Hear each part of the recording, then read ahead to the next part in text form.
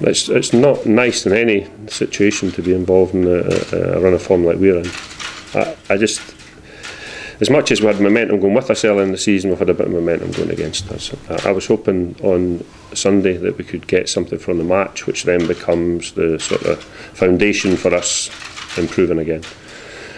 I think we might have got enough from the performance to, to do that, and uh, you know, tomorrow night will will tell us.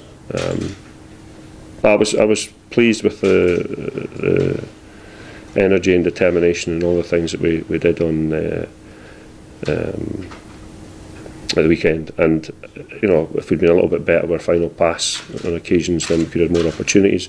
But again. Um, it was still much better than, than we've been doing previous weeks. So I'm hoping that that's, the corner has been turned. Um, Christophe coming back was a big bonus for us.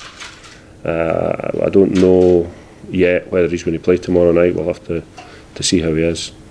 Um, so, but at least you know he's back, and we'll get Nazy back for the Aberdeen game, um, and then things, you know, start to look better for us.